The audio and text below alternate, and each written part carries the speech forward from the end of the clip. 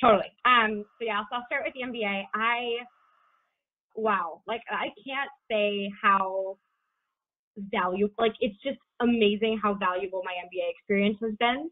Um, I think for me, more personally than professionally, look, obviously the professional help of being at HBS, just having the Harvard brand on your resume, meeting the people that you meet here, and to me in particular, meeting the international students, like you get exposure to these crazy, amazing people from all around the world, and it shapes your perspective on business in a completely new way. And I think from a professional standpoint as well, like you're you're gonna be in the trees, not not looking at the forest. You're just gonna be in the weeds for the first like four years of your career. And here at business school, it's about management, right? So it's like how would a CEO look at things? And so it's a completely different view of business. And I think forcing your brain to grow in that way is really important for the next stage of the career.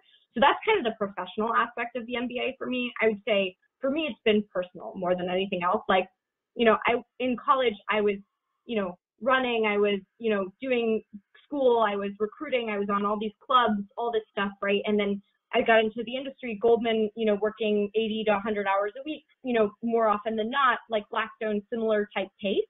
And I just never like stopped and like back and went, okay, what is my life and why is why am I the person I am? Why are things the way that they are? Like, what's my objective in life, right? As a human being.